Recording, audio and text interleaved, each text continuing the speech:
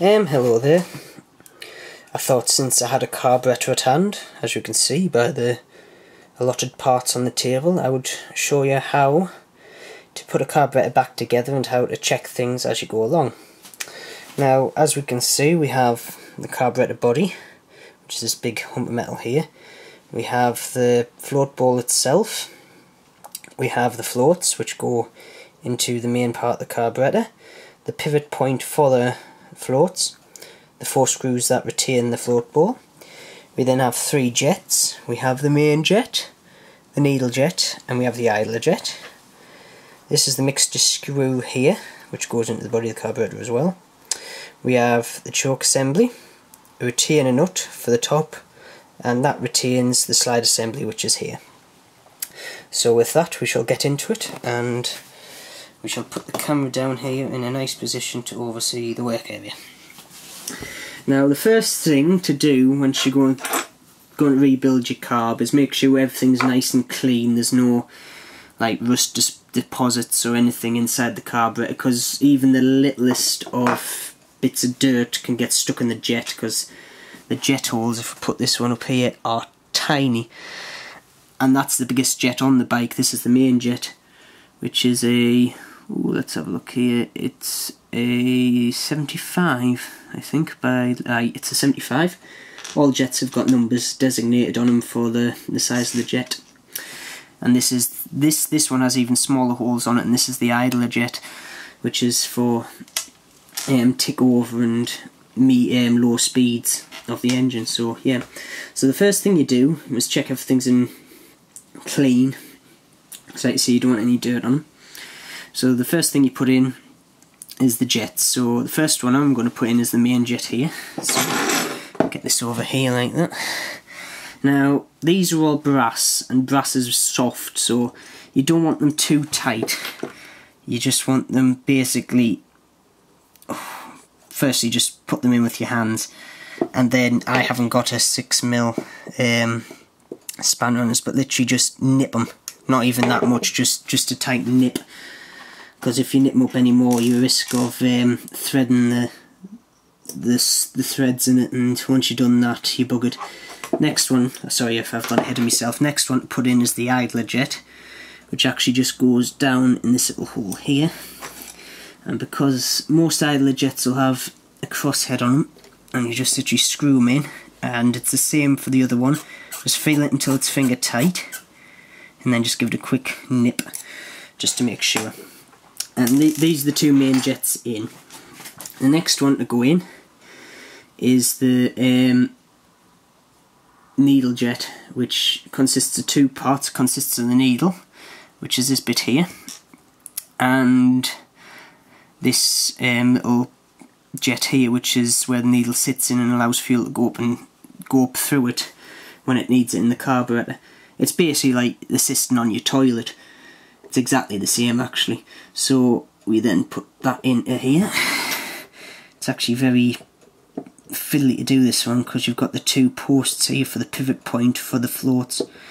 So it's just a matter of getting it in and once you've got it in to finger tight by yourself. Get a 10mm spanner, which is for this one, and just tighten it up until it feels like it's tight. It's starting to put now. There's a washer on the bottom of this as well, so there we go. That's all tight. We then stick in the needle jet. Now this is important because if you miss this one out, your carburetor is just going to flood all the time. And make sure it's it it's free moving in there. So make sure it doesn't stick or anything because that will also cause the, either the float to or the carburetor to leak or flood I should say and also if you're not getting enough it'll cause the bike to run unevenly.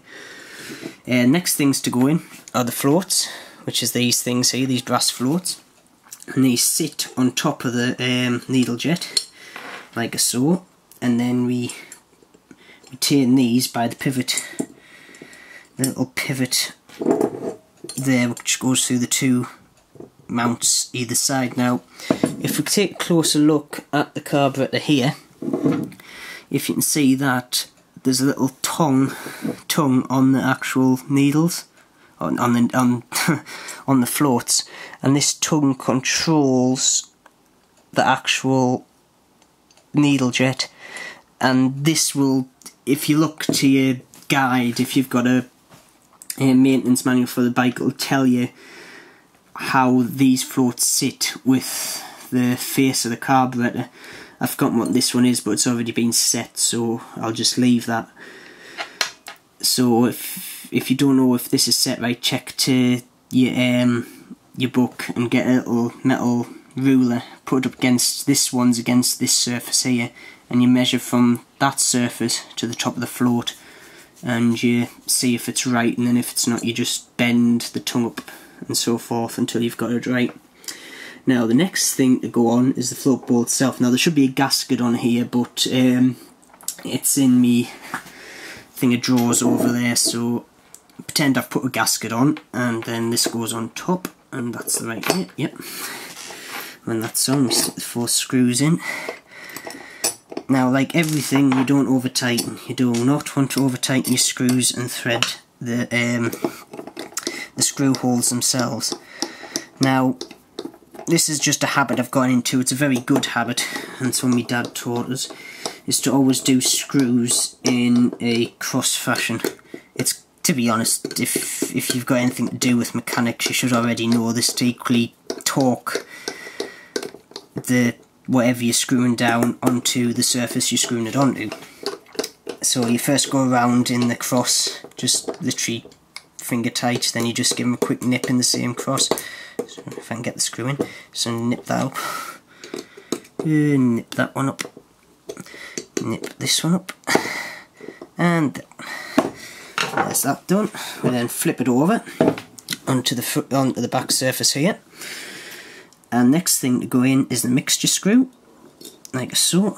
And this should actually just go in by finger firstly. So if we just put that in, screw it in when it starts getting tight like that. And I know for a fact, just because I've worked, I've done these carburetors before, it's one, two, three. So it's three half turns out, that's the stock setting. Um, next thing to go on is the choke. So we've got the choke there, got the plunger, and this just actually slots in, and the choke assembly goes onto the top. And this is where the cable would be retained. I'm just nip that up there. Is that big enough? It might not be. Nope, it's not, but you would just quickly give that a nip up. Yet again, you don't over tighten. Now the slide goes in a certain way. There's a little pin inside there and this actually mates up to the cutout on the side of the slide and we just literally gradually put that down there just feeling. And that should go into the jet the, the needle should just go straight into the front. Or straight into the hole that's down the bottom there like a so. And then there's a little notch on the side here which retains the assembly to stop it twisting around. And then on top of that goes the retainer. One thing about carburetors, they are simple, like it's just taken us, what should we say, five, five, six minutes to put that together. But like I say, stripping one, you have to clean it so it's spick and span because you don't want one bit of dirt going into a carburetor because once that happens, you're never going to get the bike running right, especially the size of the jets. But the the simple and the concept behind them's simple as well. It's just basically using different pressures to suck fuel through the carburetor and mix it. It's bu bu, bu uh, I forgot what it is now. But basically, that's a Venturi and use Bernoulli's equation. That's it to work it out. It's Bernoulli's theories and stuff, which I do in my course. But like I say, if you've got a carburetor and it's easy accessible, and you've got a bit of mechanical know-how, it's pretty easy to strip and clean one. But um, like most people of today, they don't really have that much to do with bikes or anything because they're all electronic and you can't really work on them yourself. You have to send it off to a person who's got a computer that can plug in and then that'll just tell you everything. It's kind of took the fun out of it and to be honest I think it's going to take a lot of new people out of self mechanics and also getting into bike restorations and all that because they're not going to know what to do. But yeah, that's as easy as that to strip a carburetor and to sort it back out. That's it.